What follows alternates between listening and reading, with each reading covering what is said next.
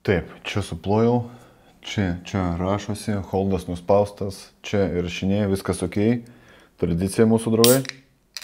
Beje, ten mačiau ir jau pradėjau ir video kur, kaip aš nereklamuoju gėrimo, tai nusprendžiau, kad norėjau iš pat pradžių uždėti kokį nors baltą lapą, užrašyti, kad čia nais no brand, galvoju po to. Turėkit jūs seksą patys su savim, su tais reklama, ne reklama, fuck it. Mm? Taip, Draugai, labas. Mačiau, kad e, po paskutinio to video e, buvo nemažos peržiūros, iš tikrųjų peržiūros mane labai uh, užmotivavo, sakykime, 11 tūkstančių, tai yra neįtikėtinas rodiklis, man aš kaip visą sakau, kad tokiems video 5, 6, 7 tūkstančiai views jeigu bus, 5, 6, 7 tūkstančiai peržiūrų jeigu bus, tai mane kaip ir visiškai tenkins, yra daugiau, tai super, yra šiek tiek mažiau, nu tada kažką galvotume, bet kol kas yra viskas super. Pagal komentarus, pasižiūrėjau, kad e, visų komentarų neskaičiau, pastaruoju metu neskaitau visų komentarų, nes, nu, kaip ir minėjau, kad ten jaulas kažkoks, bet kiek skaičiau, tai maždaug 90 procentų iš tikrųjų labai gerų komentarų, tai visiems ačiū Jums, kas palaikot, kas parašėt, kas laukėt šito, šito tipo video, kam įdomu ir taip toliau, viskas super, duokit mėgis. Visiems kitiems tai sakau, nieko nesakau, atsigersiu ir viskas. Bet e, pasižiūrėkit, beje, praeitas video, nežinau, vėlgi čia botas dirba ar ne, arba tiesiog žmonės e, suradę save komentaruose apie kurio, e, tos, tuose komentaruose, kuriuos aš komentavau tada video, kur ten visiškai yra nupušimas, visiškas moliugėlių turgus, kaip aš vadinau, tai surado turbūt save ir paspaudė dislike labai daug, nes, nu, tiesiog uždislaikintas, neįtikėtinai uždislaikintas video. Tai arba botas, arba iki šiol žmonės pyksta, nu, hibra, nu, nepykit, nežiūrėkit ir viskas, nu, dislaikinat, tai dislaikinat. Žmonės beje labai keistai nesupranta, kad dislaikas e, yra žymiai geriau negu iš vis jokios reakcijos. Tai kada jūs dedate dislaiką, tai reiškia, YouTube supranta, o šitas video kažkuo yra įdomus ir jį heitina, bet jisai turbūt visiems toks populiarus, populiaresnis, įdomesnis, galbūt ir trenduose netgi pasirodys kai kada ir taip toliau. Taip, kad žinokit, jeigu norite kažką blogo padaryti, geriau iš vis e, nedislaikinkit, nes dislaikas tai yra geriau negu nieko, absoliučiai. Taip, gerai. Šiandien yra pirmadienis, kaip ir žadėjau, praeitą kartą išleisiu jums video. Zizas One ir 2.0, kaip aš vadinu šią rubriką, iš tikrųjų tai turėtų būti jau ne 2.0, o netgi 3.0, kadangi 6 metais, 16 metais, atsiprašau, 6 pogalas, kaip senai tai buvo. 16 metais prasidėjo visą tai, buvo pertrauka, 17 metais, sakykime, antras sezonas prasidėjo, jeigu galima tai vadinti, jeigu mes kalbam apie serialą. Ir dabar 18 metais, trečias sezonas, tai turbūt Zėdas One ir 3.0. Nu, taip pat Ne, pavadinsim visgi 2.0. Žiūrėkit, apie ką šiandien pakalbėsim. Visų pirma, tai kaip jis ta pasirašęs temas, kurias šiandien su jumis apžvelgsim, pakalbėsim, pabendrausim. Taip kad, draugai, jeigu jūs žinot, kokio tipo šitas video yra arba garsas, galbūt jūs tik tai klausotės per SoundCloudą, beje, jeigu youtuberiai norėtų kažkaip fonė labiau klausytis negu žiūrėti E, šitą video arba kažkur, kad telefonas būtų pastoviai sudegiančio ekranu, tai be problemų, vien tik tai garsą jūs galite surasti SoundCloud. E. Video prašymė beje yra nuolaida, nuoroda. E, užprenumeruokit mane SoundCloud ir per Apple podcast programėlę galėsit klausytis mane, čia surasit Zijas vadimas arba SoundCloud aplikaciją irgi surasit mane. Aš tenais moku už hostingą, taip kad visada tenais surasit šitos video. Jeigu jums patogu, jeigu jums maloniau būtent klausytis mane, o ne žiūrėti, tai Pasidarykit arbatos, kavos, nežinau, pietų, vakarienės, pusryčių, nežinau, sportuojat, bėgiojat, einat, važiuojat, minat dviratį kažkur, rėdat riedlentį, nesvarbu. Visus iš tikrųjų labai labai smagu čia nais jūs matyti. Žiūrėkit, šiandien su jumis aptarsim kelias temas. Numeris vienas tema, tai aišku, tai kas vyko vakar. Žiūrėkit, aš pastaruoju metu esu pilis kartus gan smarkiai apsidegęs ties tuo, kad uh, kelis kartus, sakykime, padariau anonsą anksčiau, negu tas buvo padaryta. Ir kada kažkas nesigauna ir po to tau sakau, vadovai, pala, pala, bet tai reikia, tu tą žadėjai padaryti, bet nepadaryti, tai kaip čia, bleva, ir po to reikia aiškintis, kodėl čia nepadarėm, dėl mano, ne dėl mano kalties ir taip toliau. Tai dabar aš nedarau jokių anonsų tol, kol aš nepadarau video, kol mes nepadarom video, kol nėra viskas, sakykime, on camera, kol nėra uh, viskas įrašyta, tol aš nepasakoju. Taip kad, draugai, aš žinau, kad mes testuosim uh, Mercedes McLaren SLR automobilį, superkarą, super automobilį jau prieš geras dvi savaitės, bet niekam negalėjau ir nenorėjau pasiskelbti dėl prieš tai įvardytų priežasčių. Vakar. Vakar mes nuvažiavom, viską mes sutarėm, žinokit, ir vakar mes nuvarėm į uždarą teritoriją. Uh, ir mes tenais patestavom, jeigu galima taip išsireikšti, patestavom McLaren SLR. Kodėl mes nevažinėjom juo mieste? Visų pirma, tai... Huh, Visų pirma, tai šitas automobilis labai, labai, labai retai kada išvažiuoja į gatvę, sakykime, jisai yra kolekcinis, jisai yra nupirktas tam, kad jisai, jo kaina ir vertė, sakykime, kiekvienais metais auktų.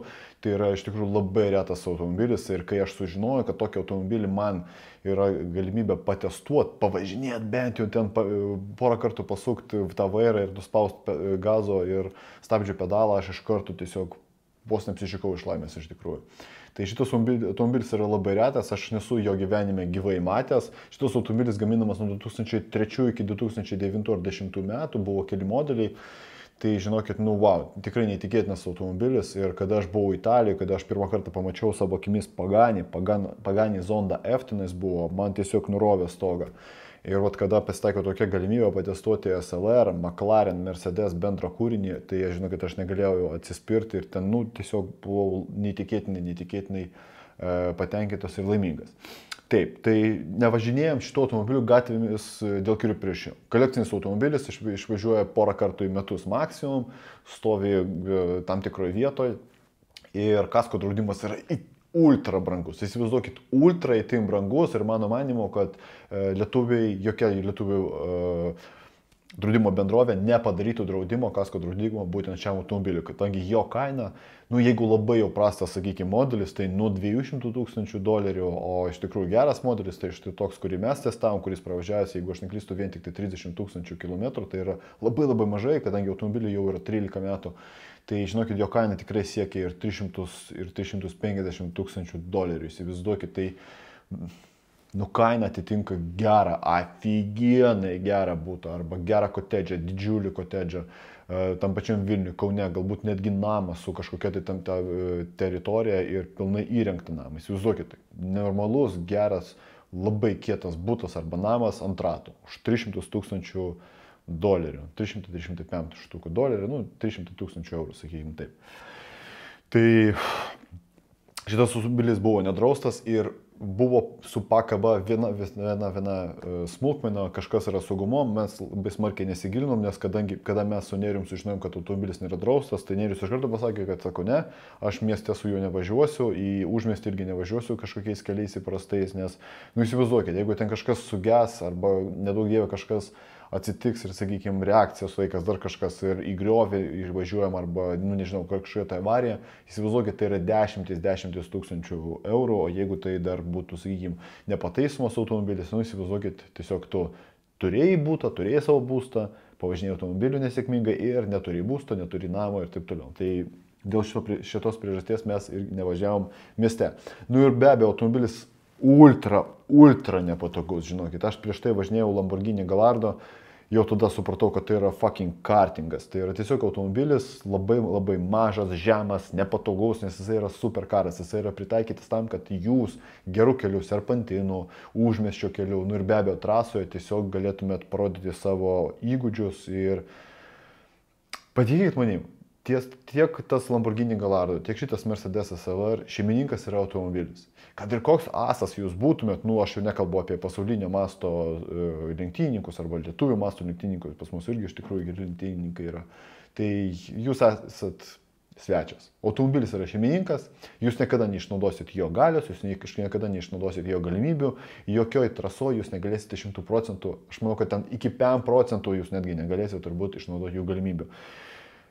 SLR virš 600 arklio galių, virš 800 Nm sukimo momentas, labai sunkus e, vairo stiprintuvas, labai keistas stabdžio pedalas, nu, identiškai kaip ir Lamborghini buvo. Nu, darbas, konkretus darbas šitam, šito automobiliu važiuojant, taip kad mes nutarėm uh, vienoje teritorijoje uždaroji tiesiog su juo, sakykime, įsibėgėti greitai, šiek tiek manevruoti ir viskas, nes, nu, kitaip tariant, mieste mes jo negalėjom testuoti, ir tai buvo vienintelis būdas. Bet mes sugalvojom labai įdomų variantą.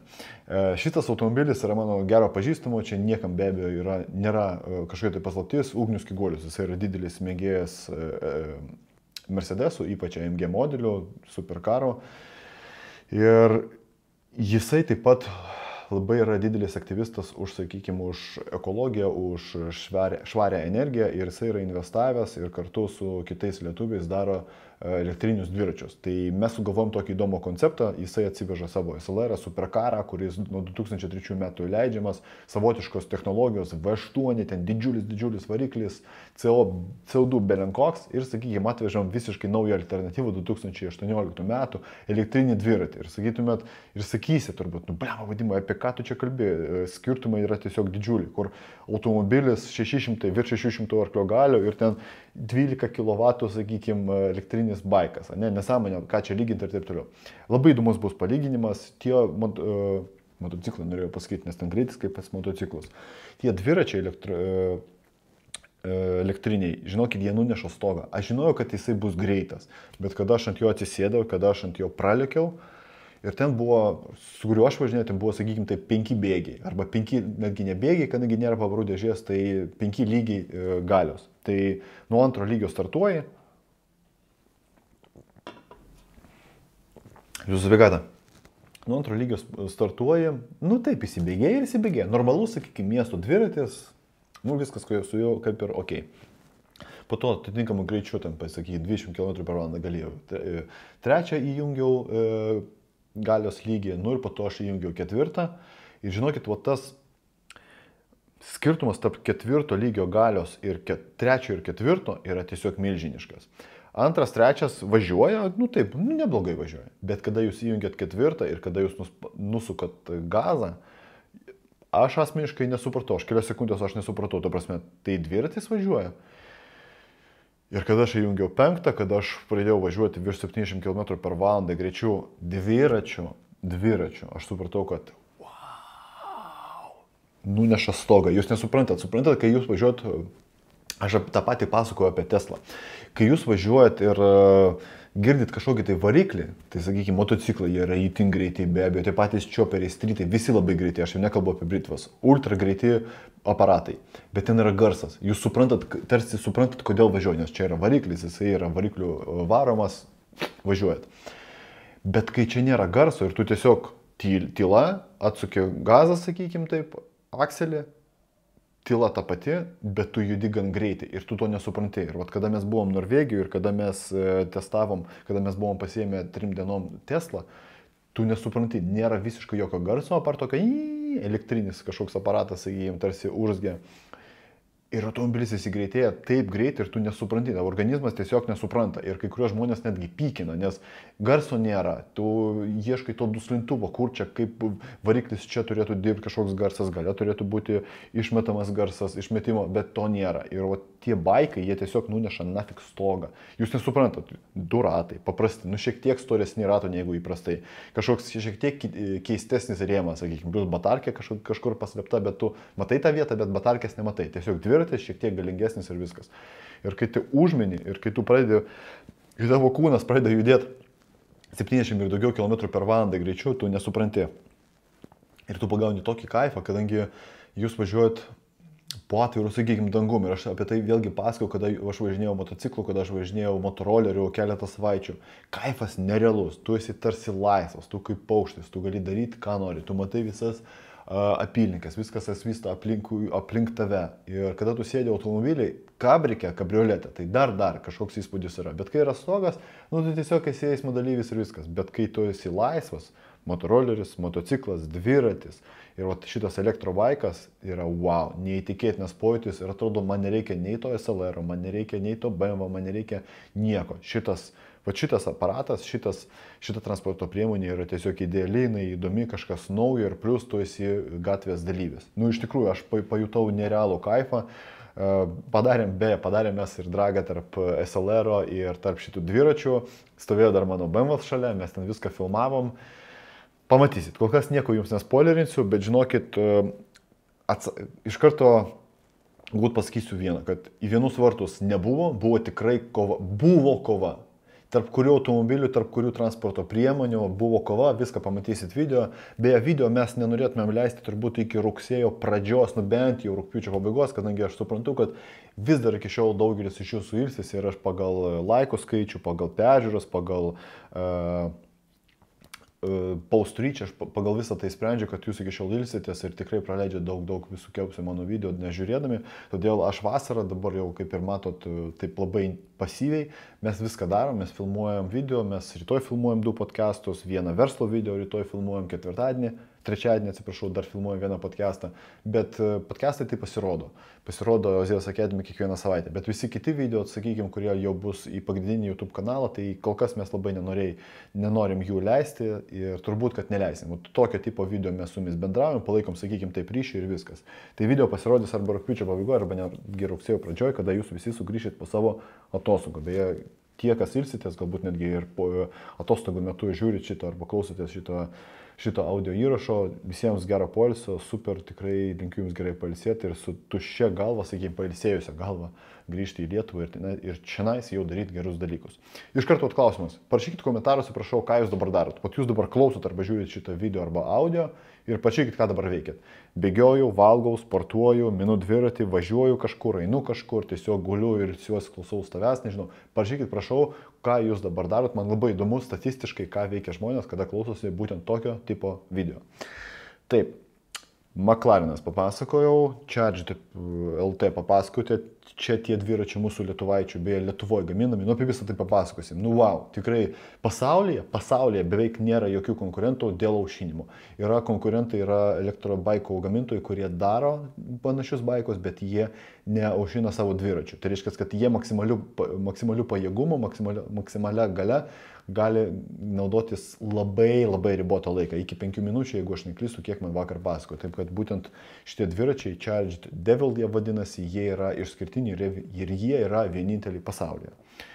Taip, labai džiugi žinia iš tikrųjų ir čia iš tikrųjų sekanti žinia, sekantis, sekanti tema reikalautų žymiai didesnio uh, gilinimuose, bet mes padarysim apie tai video su vienu žmogum, kuris išmano apie tai, kuris, sakykime, ir pranešė vos ne visam uh, lietuviškajam Facebook'ui apie tai. Tai padarysim vėlgi video, tikiuosi padarysim e, rūpiučio mėnesį, rugsėjai pasirodys visiems jums prieinama, kadangi, prieinama bus, kadangi tai labai svarbi tema. Monsanto. Monsanto pralaimėjo teismą ir jie dabar turi išmokėti 280 plus milijonų JAV dolerių. Bet esmė tame, kad netgi ne pinigai čia lemia viską, o viską lemia tai, kad buvo pripažinta ir iš tikrųjų teismas e, priėmė nuosprendį, kad Monsanto tai yra didžiulė kompanija, padarykit namų darbus, prašau, kas tai yra. E, teismas nusprendė, kad jie žino, jie turėjo iš karto įrodymų, jie turėjo iš karto dokumentus įrodančius, kad visi jų produktai, ypač glifosatas, jisai kenkia ir jisai sukelia vėžį, jisai būtent aktyvina vėžio ląsteles. Tai Vėlgi, apie tai žymiai plačiau mes pakalbėsim būtent su specialistu, ekspertu, suprantančiu šitoje sferoje žmogum. Bus labai įdomus pokalbis, tikiuosi, kad viskas mums pavyks. Bet noriu pasakyti tik tai vieną, kad tie žmonės, kurie dabar žiūrit arba klausot ir e, supranta, apie ką aš kalbu, kas yra Monsanto, kas yra glifosatas, kas yra, kas yra būtent visa ta byla, kuri tęsiasi ilgai ir nuobodžiai. Ir tai, kad tai yra pergalė, tai žinokit, norėčiau pasveikinti tiek suprantančius, tiek nesuprantančius, apie ką aš dabar kalbu, vis norėčiau pasveikinti turbūt visą žmoniją, nes tai yra didžiulis precedentas, tai yra didžiulė pergalė ir dabar galima bus, jeigu ką sakyti, kad yra precedentas 2018 m. rūpjūčio, e, dabar nepasakysiu, kilintos dienos, man atrodo, 11 arba 10 dienos byla, kurioje buvo įrodyta tas, tas ir anas. Kaip jūs žinot, beje, jeigu yra teisininkų, tai e, pakoreguokit mane ir komentaruose parašykit, ar aš teisus, ar aš kažkur šiek tiek suklydau. Jeigu yra precedentas, tai žymiai lengviau po to panašias bylas narplioti ir ypač e, prokurorams būtent statyti arba advokatams ypač statyti savo gynybą arba savo puolimą būtent e, tų precedentų atveju. Tai šį kartą precedentas yra sukurtas, tai yra super, tai yra pirmas, pasaulio, pirmoji pasaulyje tokia byla, kur būtent buvo laimėta prieš Monsanto, prieš didžiulį, didžiulį, sakykime, milžiną šito industrijoje, farmacijos industrijoje ir ne tik. Ir tikiuosi, kad po šitos bylos pasaulis pamažu pradės keistis į gerąją pusę. Nu, labai daug kas turi pasikeisti. Vėlgi, labai daug kas turi pasikeisti. Taip. Apie keliones. Kadangi prieš tai pasakojau, kad mes su jumis bendravom beveik metus laiko, tai iš tikrųjų daug kur keliavom, tai aš manau, kad atėjo laikas papasakoti jums apie mūsų pirmą kelionę šį, šiemet. Mes e, mano gimtadienį šventėm e, Italijoje, Neapolį. Jūs turbūt žinot, kad praeitais metais aš jums jau pasakojau, kad 2017 metais, kai man sukako 29 metai, aš nusprendžiau, kad kiekvieną savo gimtadienį aš norėčiau švesti tiesiog bet kurioje šalyje, tiesiog ne Lietuvoje. O tokia kaip tradicija, priim, sakykime, ir viskas. Tai šiemet savo 30-metį, nu, atšvenčiau aš jį be abejo Vilniuje, Lietuvoje, kadangi būtent kovo 14 dieną mes buvom Vilniuje, o tai, tai tada mes 15 dieną, sekančią dieną jau išvarėme į Italiją, bet uh, teoriškai galima sakyti, kad aš švenčiau gimtadienį Italijoje. Tai mes nutarėm nuvaryti į Neapolį trim dienom, jeigu aš neklystu, jo, tris e, dienas mes tenais praleidom. Ir nutarėme važiuoti labai didelę kompaniją. Pirmą kartą mes nuvažiavom su mano žmona poilsiaut, ilsėtis arba šiaip pasižiūrėti kitos šalies, būtent tokia didelė, kompanija, didelė kompanija. Visada mes važiuodavom dviese ir iki šiol važiuojam dviese, po to mes varėm dviese į kitą Italijos pusę. Papasakos vėlgi sekančiam video apie tai. Tai žinokit, nu, labai patiko. Labai patiko ta visa kelionė, labai naujas ir mums neįprastas experiences, kada nedviese viską sprendžiam, kur mes varom, ką darom, kur valgom, kaip valgom, kada valgom, kokias ekskursijas pasirinkam ir taip toliau. O devyniesiais, įsivaizduokit, devyni žmonės, mes išsinuomavom didžiulį tokį būtą per du aukštus.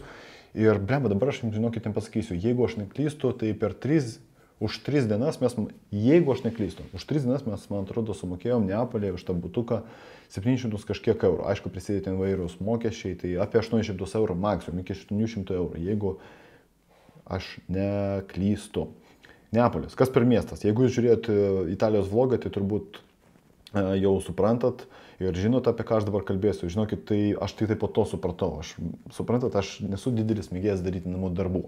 Ateina pas mane žmogus į podcastą, Ir aš iš savo, sakykime, galima sakyti, tokio tingėjimo kažkaip nutariau, kad aš nedarysiu namų darbų. Tai reiškia, aš nesiruošiu, aš ne, nedarysiu super kažkokio tai uh, tarsi tyrimo į žmogaus gyvenimą, kuo jisai domisi, arba ką jisai ten yra pasakęs vienam interviu arba kitokiam. Ir būtent dėl to mano podcastai yra tokie labai savotiški ir žmonėms dėl to yra žinai, kad jie yra, ne, tai vadinami, neparuoštukai. Nėra tokių paruoštukų, nėra klausimai, kurie, kurie būtų aptarti prieš patį podcastą, kad būtent kalbam apie tai ir apie tai, to neminėk. Ne, pas mus tokio nėra.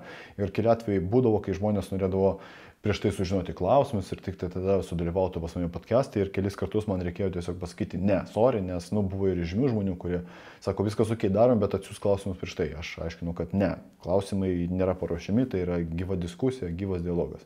Nu, tai tipo, ne, mes tik, tik tai taip darom, atsiūs klausimus, tada viskas bus ok. Nu, sakau, sorry, Hebra, bet jokių klausimų aš nesiūsiu ir savo principais aš nenusileisiu, nes tiesiog nematau prasmės. Aš esu išskirtinis Būtent mano podcastai yra išskirtiniai tuo, kad e, kalbama ne vien tik tai, sakykime, apie gyvenimo prasme, ne vien apie verslą, ne vien apie sportą, ne vien apie, uh, ten, sakykime, investavimą arba keliavimą, keliones, uh, saviugdą ir taip toliau, mes kalbam apie viską ir yra absoliučiai viskas be ribų.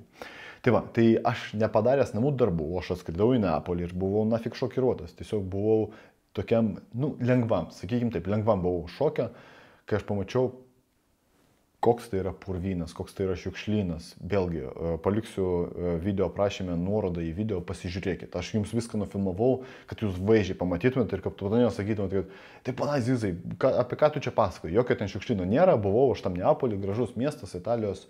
E, miestas Italijos pietuose, viskas ten super. Ne, viską, žinokit, nufilmavau ir ten kai kuriuose vietose eini ir labai labai netoli Vilnius, noriu pasakyti, Neapolio centro eini ir tu tiesiog nesupranti, yra tiesiog krūvos šiukšlių, krūvos, krūvos, tikrų tikriausių šiukšlių ir viskas. E, benamių, kad labai daug būtų, ne, nepasakyčiau, tikrai JAF yra žymiai daugiau benamių, bent jau Los Andželė, negu tam pačiam Neapolė. Bet va šiukšlynas, tos šiukšlės, nesuprasi kodėl.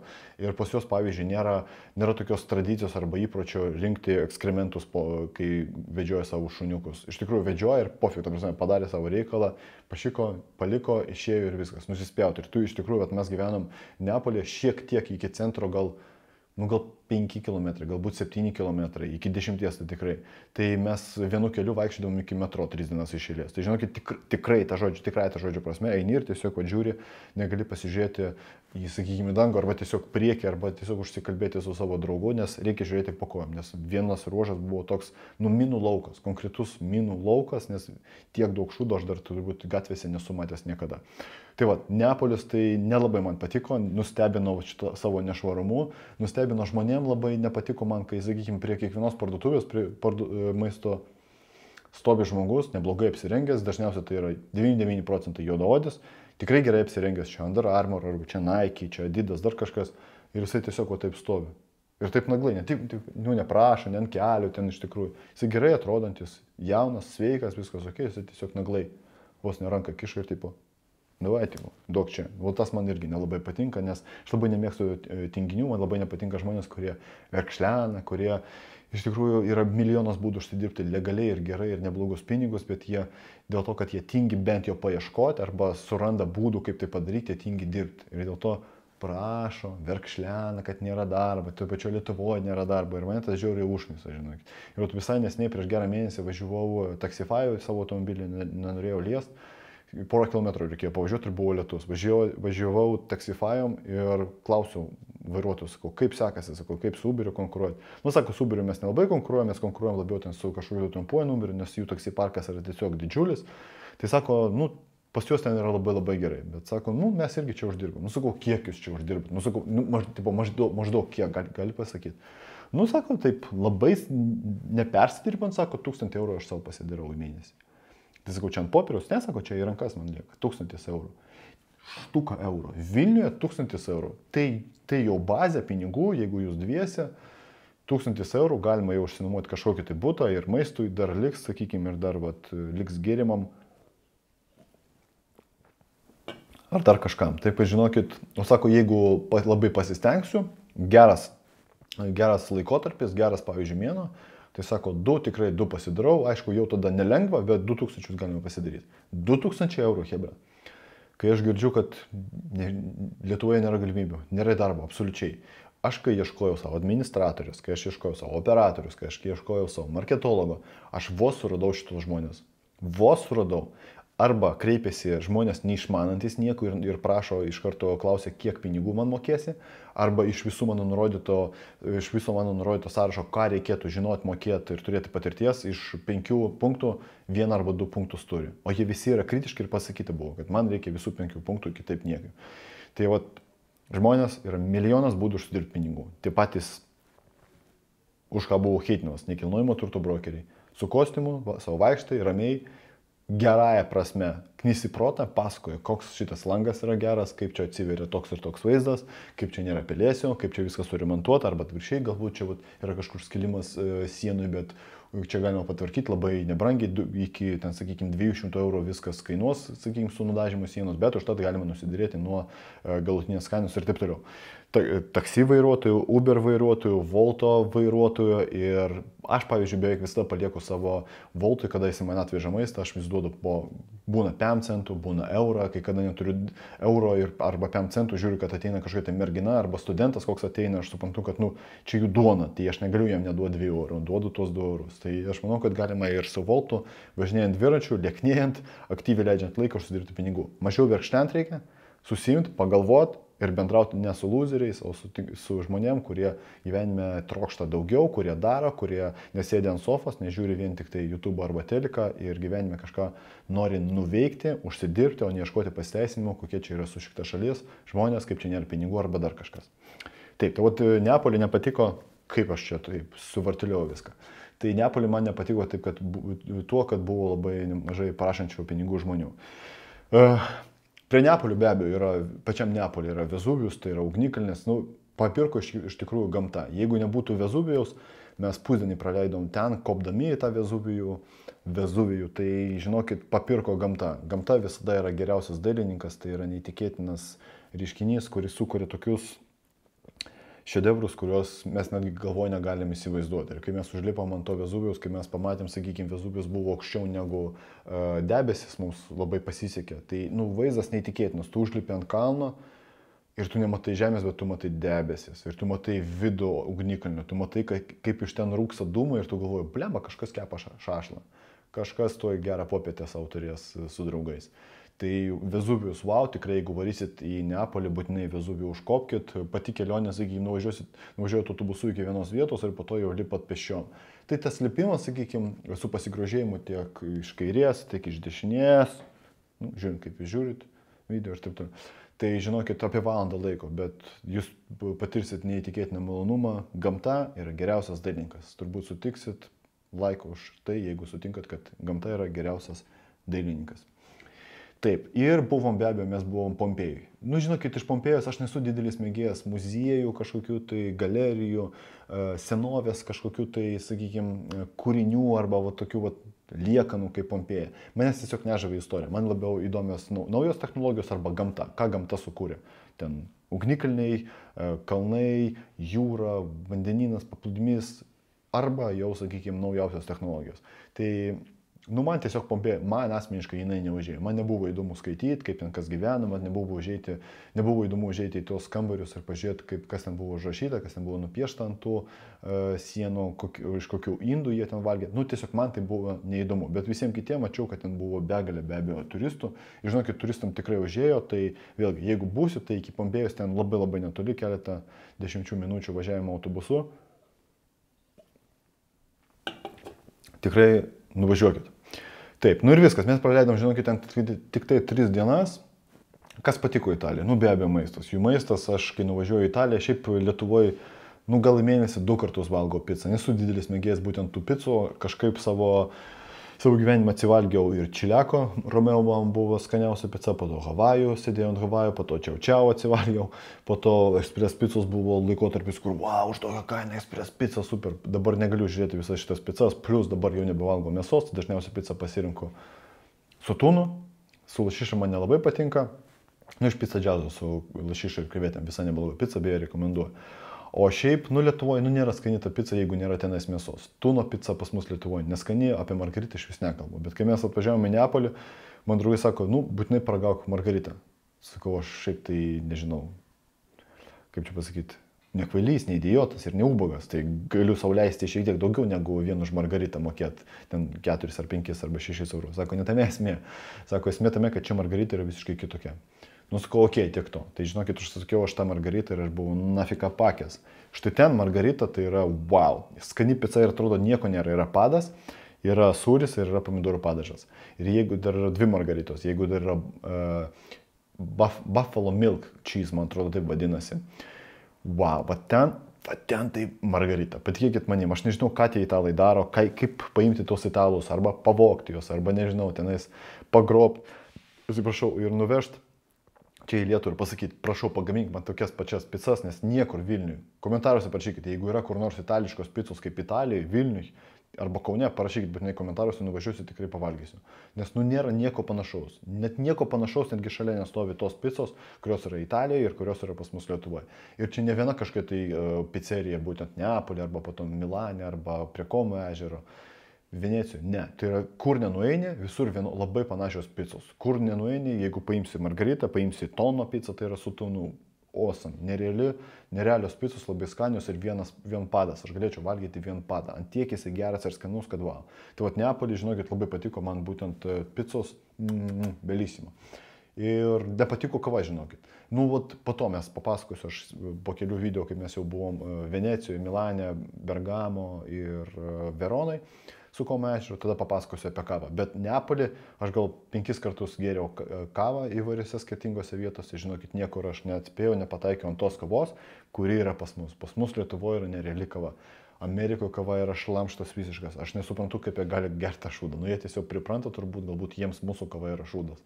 Bet, nu, kapučinas šūdas, latė, nu, neįmanoma gerti. Man asmeniškai neskanu.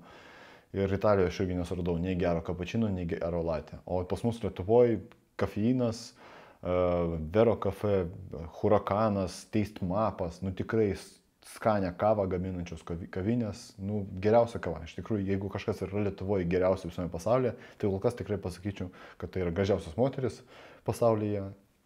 Ir be abejo kava. Kava pas mus Lietuvoje, bent jau iš mano įpročių, pagal mano skonio receptorius, mm, irgi belysima. Fuh, taip, apie Italiją berots papasakoju. Ar ten brangu? Tikrai, kad nebrangu, žinokit, labai panašios kainos kaip ir pas mus Lietuvoje, nieko brangaus aš tenais itin nesuradau, labai panašu, panašios kainos į produktus, pizzos ten, nu, pizza 7-8 eurai, bet keistiausia, kad pizzo mes e, vienoje vietoje tik tai radom skirtingų dydžių, bet ten buvo, man atrodo, metrinės, metrinės skersmens pizza. Norėjom užsakyti, bet jie kažkodėl nepagamino mums, pasakė, kad, no, no, no. O šiaip pizza yra tiesiog, pavyzdžiui, margarita ten, tūno, dar kažkokia pizza ir tu nesirinkti dydžio. Niekas tavęs nafik neklausia. Tiesiog pasirinkti pizzą ir viskas. Dydis yra vienas ir viskas. Tai va, tai 7, 8, nu ten jeigu kietesnė pica, sakykime, su daugiau ingredientų, 10, 12, kai kada eurų paprastose restoranuose, paprastose kavinėse. Aš manau, kad tai yra tikrai geros kainos ir už tokią skanę pizzą atiduoti 8 arba 10 eurų, tai čia žinokit iš viso apie nieką. Daug kalbų, draugai, tai džiovina gerklę, vis pagurkšnoju.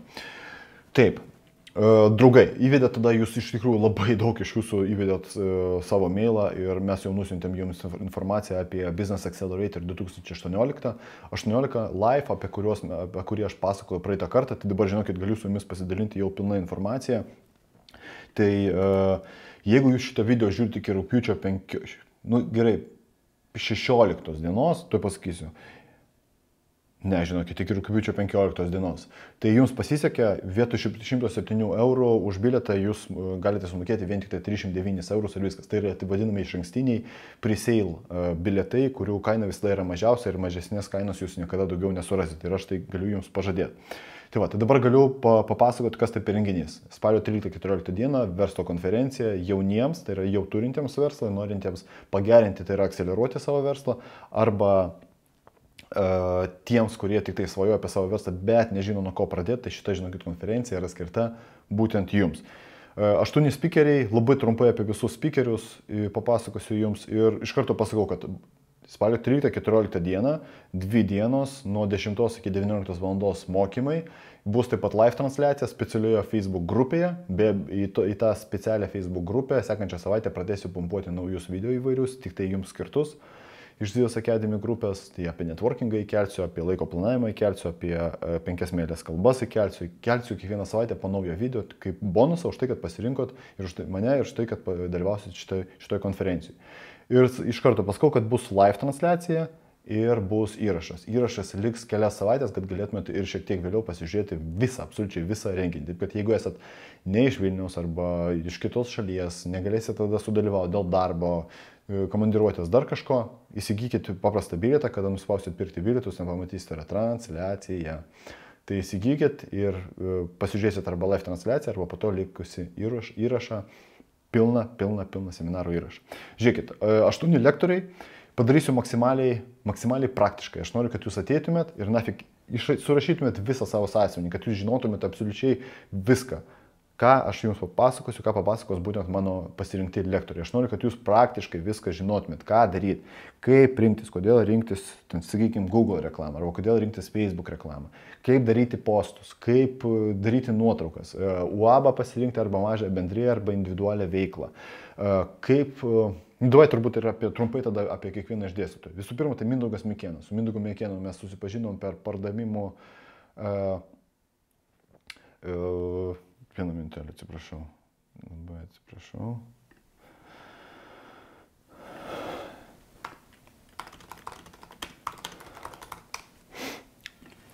Su Mintigu Mikėnu mes susipažinom šiais metais per pardavimų formulę.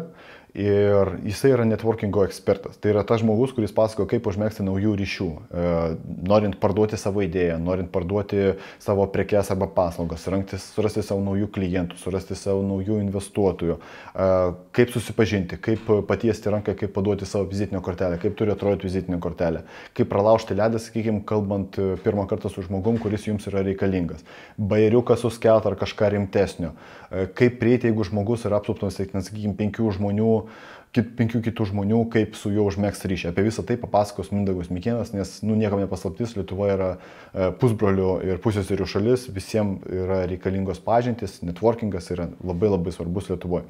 Vesta. Vesta Višniauskinė tai yra vadovė, e, teisininkė, VIP teisė vadovė, jinai pati yra teisininkė, jinai yra verslo ir finansų sferoje dirbantis žmogus. Ir taip pat turi apskaitos, turi buhalterių kompaniją. Jinai tvarko mums e, apskaitą jau kurį mėnesį. Iš tikrųjų labai patenkintas, viską susinčiu, jokių problemų, jokių klausimų nekyla, viską išsprendžia. Tai Vesta per e, spalio 13-14 dienas dienomis vyksiančią Business Accelerator konferenciją papasakos jums Ką pasirinkti? UABą, uždaraktinę bendrovę, mažą bendryją, individualią veiklą, ką daryti, kokius mokesčius mokėti, kas yra PVM, kada jūs tampate PVM, kaip e, legaliai išvengti PVM, ką daryti, e, kaip legaliai, legaliai, vėlgi mes kalbam legaliai, kaip e, sumažinti mokesčius, kaip juos, kaip nemokėti, nepermokėti jūs, kaip savo iš, išmokėti pinigus, kad nemokėti ten 100 procentų arba 70 procentų vien tik tai valstybei, kaip išmokėti savo kaip dividendus. Apie visą tai papasakosiu jums Vesta.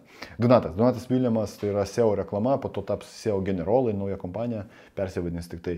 E, vadovas papasakos jūs viską apie Google. Apie Google, apie Google uh, Analytics, apie Google uh, SEO, tai yra Search Engine Optimization, apie optimizaciją jūsų turinio ir apie AdWords, apie, apie tai, kaip reklamuotis, kada reklamuotis, kiek tam skirti laiko, kokiuose sferose geriau Google'as veikia, kurio, kurios, kurios sferoje jūs darot verslą, galbūt netgi nereikėtų lysti su Google ir taip toliau. Uh, Povilas Petrauskas. Povilas Petrauskas jau mūsų ketvirtas uh, lektorius, jisai papasakos apie tai, kaip nebūti savanaudžiu, kaip e, pralaužti tą ledą, kada jūs kažką žinot savo sferoje, bet jūs vis dar bijot. Nes kiti sako, nu blem, o čia dar, dar vienas tas atsirado, dar vienas tas atsirado. Ir tada jūs užduodate savo labai daug klausimų ir kaip išiškinti tą savo įdydį, kodėl, kodėl aš turiu pradėti savo veiklą, kodėl aš turiu dalinti savo patirtimi arba pardavinėti savo sukurtus produktus, nes, sakykime, šokoladuką, e, atviruką, telefono dėklą, nežinau, paslaugas montavimo, garso įrašymo, dar kažką kaip tai padaryti ir kaip būtent savo galvoje viską sustatyti taip, kad jausti malonumą, jūs žinot, kad jūs darot gerą paslaugą arba produktą ir prašyti už tai pinigų, kad nebūtų taip, kad nu, 10 eurų norėčiau. Kiek 10 eurų? Kad normaliai, gerai pasakyti savo kainą, nenuskriausti savęs ir kaip e, padaryti taip, kad nekiltų savo daugiau klausimų. Žilvinas Butkevičius. Žilvinas papasakos jums apie tai, kaip surasti savo tinkamus darbuotojus, kur jų ieškoti, kokius klausimus jiems uždavinėti, kaip subūrus tą komandą jie išlaikyti, kaip padaryti taip, kad jie nebėgtų nuo jūsų, kaip padaryti taip, kad jie motivuojančiai dirbtų, kad jie būtų paskatinti, jie būtų įkvėpti ir kad jie norėtų likti jūsų komandoje, nes komanda yra labai labai svarbi. Davidas Mikočionis. Davidas Mikočionis papasakos jums, beje, mes praeitą savaitę įrašėm kursą, visi Zivės Academy nariai nuo rudens šį kursą pradės matyti apie Facebook reklamą. Kokius postus kelt, kokias nuotraukas, ką ten paryškinti, ar naudoti emodžių, kaip susikurti biznes paskirtą, kaip nustatyti reklamą, kokiem žmonėm nu, nustatyti, kas yra Facebook pixel, kaip integruoti pixelį į savo svetainę, kaip sekti savo pardavimus. Absoliučiai viską apie Facebooką papasakos jums Davidas Mikočionis. Mildas Abienė. Mildas Abienė jums papasakos apie laiko planavimą ir apie efektyvumą. Suprantat, kai jūs tapsit verslininkas, galbūt iš čia esančių kažkiek žmonių yra jau verslininkai, beje, parašykite komentaruose, ar aš teisus. Kad jūs tapat verslininku, ant jūsų galvos nukrenta tiek daug dalykų, kad jūsų protas tiesiog jisai negali surušiuoti ir supras, kas dabar vyksta. Ir jeigu jūs nesurušiuosit e, visus, vis, visas, visus savo tikslus, visus savo dalykus, kuriuos reikia padaryti, visas savo užduotis, tai gaunasi chaosas, jovalas galvoje ir tada jūs darote, atrodo, labai daug, rezultatas labai prastas, nes jūs tiesiog neteisingai sustatėt prioritetus. Vieni darbai yra skubus, kiti yra darbai svarbus, kiti yra skubus, nesvarbus, yra nesvarbus, neskubus ir taip toliau. Tai apie visą tai Mildas abienė papasakos, nes jos pareigų sąrašas, sakykime, yra toks didžiulis. Ten ta, ta, ta, ta, ta, ta, ta daro ir dar yra mama. Tai jinai kaip niekas kitas tikrai žino, kaip suplanuoti savo laiką, kaip tapti efektyviu ir kaip daryti mažiau, bet pasiekti, sakykime, daugiau. Na ir be abejo aš, aš jums papasakosiu apie tai, kaip sukurti savo personal brandą. Kodėl, pavyzdžiui, jūs klausotės manęs dabar, kodėl jūs superkat bilietus į mano konferenciją, kodėl būtent aš, kodėl aš visur rodau savo veidą, kas yra personal brandas, kokias nuotraukas dėt, kaip bendrauti, ar atrašinėti visiems komentarus, ar kreipti dėmesį į heitą, ar daryti live transliacijas, ar rodyti savo veidą, ar daryti verslą savo vardu ar kažkieno kito vardu. Apie visą tai papasakosiu aš jums, Vadimas Zilas, apie personal brandą. Taip kad, va, draugai, spalio 13-14 dieną Litexpo rūmose, didžiulė salė, 500 žmonių, prisėlas, paskutiniai, paskutiniai bilietai, paskutiniai galimybė įsigyti bilietus už 39 eurus vietoj 107 iki, iki spalio 15, oi, atsiprašau, iki rūpiučio 15 dienos. Bet aš nustatysiu, yra nustatyta, kad iki 12 val. dienos, tai aš iki 12 nakties, aš tada pratęsiu šiek tiek 12 valandų, kad jūs galėtumėte įsigyti bilietus už gerą kainą.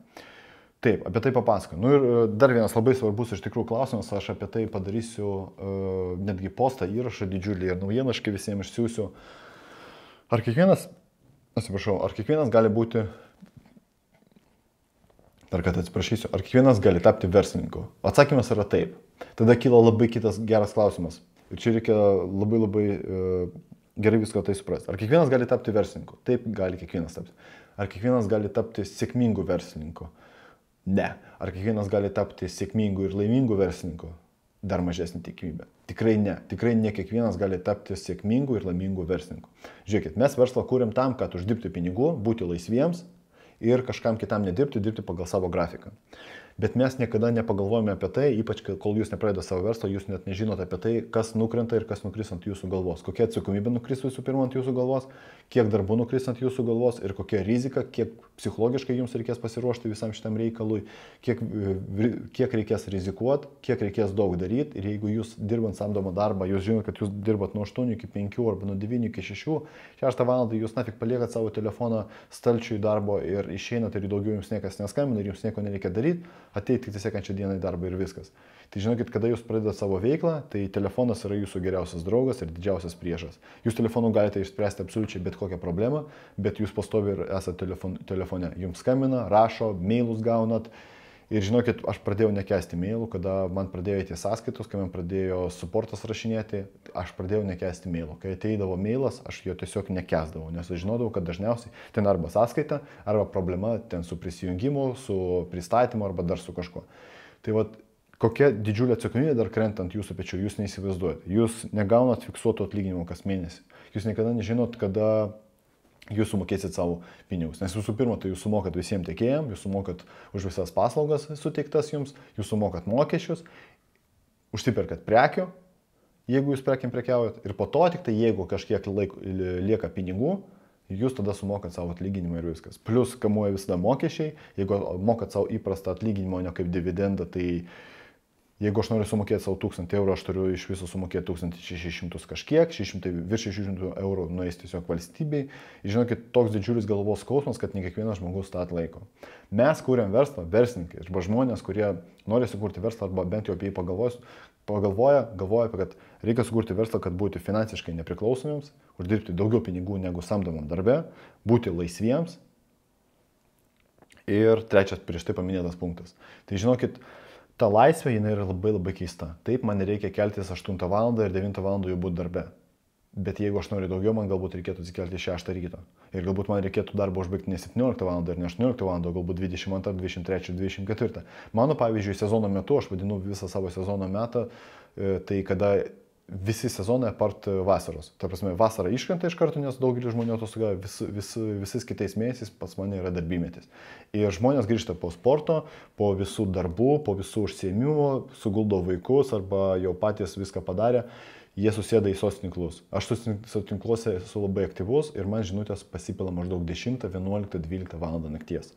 Ir kai vyksta įvairios akcijos, kai man reikia pardavinėti, kai man reikia paskatinti naujų narių atsiradimą Zės Academy, arba paskatinti žiūrovus žiūrėti naujus video, arba sudalyvauti konferencijoje, parduoti bilietus ir taip toliau, tai žinokit, aš sėdžiu ir 11, ir 12 val. nakties ir atrašinėjau žinutės. Nes jeigu aš išeisiu miegoti 11 val., žmonės pradės man rašinėti, jie negaus atsakymo, aš jiems atrašysiu tik tai 7 ryto, pavyzdžiui, sekančią dieną tai jau bus visiškai kitas efektas. Žmonės perka labiau emocijom, aš negaliu jiems atrašinėti po 8 valandų, nes jie dabar domisi, jie dabar klausia ten kas, kaip, kada ir taip toliau. O jeigu aš jiems atrašysiu po 8, po 8 valandų ir dar atrašysiu jiems ryte, o ne vakare, kada jie yra uh, paskatinti, pamotivuoti, būtent daryti veiksmą, tai jau bus ne tas. Tai tu sėdi 11 val. ir atrašinėjai. Tai žinokit, dėl to tikrai stogas būna, kai kada pavyzdžiui ir nesupranti, kam tu kuri, kuri tą verslą, jeigu pastovi sėdi telefone arba prie kompiuterio, atrašinėjai ir atlieki labai daug, daug visko. Tai apie tai mes kalbėsim, mes apie tai kalbėsim Business Accelerator 2018, kad reikia sukurti ne darbo vietą savo, o reikia sukurti verslą. Tai reiškia pasamdyti žmonės, kad kiekvienas atliktų savo darbą ir kad tu būtum bent jau uh, maksimaliai minimaliai bent jau laisvas, kad tau nereikėtų pačiam, sakykime, dirbti. Ką aš dariau dviejus metus, aš dirbau, aš buvau sukūręs savo darbo vietą. Taip aš galėjau pasisamdyti savo darbuotoją, kad jisai pardavinėtų maisto papildus, bet dėl personal brando, dėl įvairiausių kitų priežasčių aš to negalėjau padaryti, nes pardavimai būtų kritę dvigubai, turbūt ir dvigubai. Todėl aš visada šešias dienas per savaitę aš turėjau būti darbe. Ar aš buvau samdomas darbuotojas? Ne. Ar aš buvau verslininkas? Ne. Aš labiau buvau žmogus, sukūręs pats savo darbo vietą. Tai apie tai irgi, apie šitos labai svarbius dalykus mes su jumis pakalbėsim būtent spalio 13-14 dienomis. Daugiau informacijos, kai vista nuoroda video aprašymė. Taip, žiūriu, kad jau beveik 50 minučių mes su jumis pakalbėjom ir kaip visa rekomendacija. Parekomenduosiu šį kartą ne filmą, ne serialą, pasižiūrėjau pirmą seriją Better Call Saul, Nu, kai vis tą, kol ten įsivažiuos, tai žinokit, ten labai toli. E, parekomenduosiu Jums knygą. Aš e, liko, to net kaip pasakysiu, kiek man liko, man atrodo, 13 ar 12 minučių, ne, 24 minutės man liko knygos Sapiens. Sapiens, e, jeigu Ne, bet dabar nežinau, nepamenu, aš praeitą kartą jums pasakoju ar ne, bet dėl viso pikto pasikartosiu. Sapiens. E, autorius yra vienas e, žydų kilmės autorius Juval Noi Harari. Žmogus, kuris parašė Sapiens, e, lietuviškai nepasakysiu, man atrodo, nėra vertimo šitos knygos, jinai yra gan didelė. Rusiškai vadinasi Kratka istorija Čilovečisto. Tai reiškia knyga, trumpas pasakojimas apie žmogaus uh, esybę, sakykim taip. E, aš klausausi audio knygos ir dažniausiai klausausi pagreitintai, tai yra vienas greitis, o aš klausausi 1,75 koeficientų, beveik dvigubai greičiau. Tai jeigu klausytis paprastų greičių, tai šitos knygos e, trukmė yra 17 valandų, o aš klausausi greičiau, tai 10 valandų, beveik 11 valandų man teko klausyti. Ir iš tikrųjų niekada neprailgo šitą knygą, pasakoju būtent nuo to, kaip buvo e, gimęs pirmas žmogus, kaip jisai e, evoliucionavo, nuo ko prasidėjo, kas yra neandertaliečiai, kas yra homo sapiens, kas yra homo erectus, kaip mes pradėjom būriuotis, e, sakykime, kaip mes susibūrėm į bendruomenės ir tiesiog vat, einam iki pat pat pat mūsų laiko apie visas revoliucijas, apie pramonės, apie agro revoliuciją. Labai įdomi knyga, tikrai rekomenduočiau, labai lengvai klausosi, nežinau kaip skaitoma yra, bet tikrai labai lengvai klausosi, labai įdomi ir būtent sužinoti apie mus, kokie mes buvom prieš 10 tūkstančių metų, labai labai įdomu. Ir vat, man liko 24 minutės ir iš tikrųjų iš vienos pusės netgi galiuosi, kad jinai pasibaigė, nes žinau, kad antros dalies nebus. Tikrai labai gera knyga, visiems parekomenduosiu.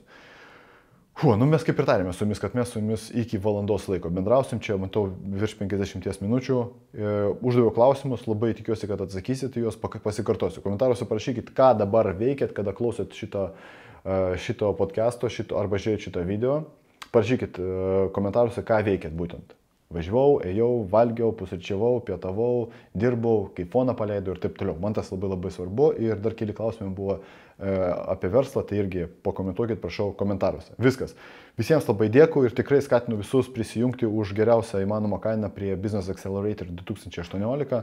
Dvi dienos, workshopas, praktiniai mokymai, pažadu nepasigailėsit, nes, kaip sakoma, įdedu į šitą renginį visą savo dušę. Iki.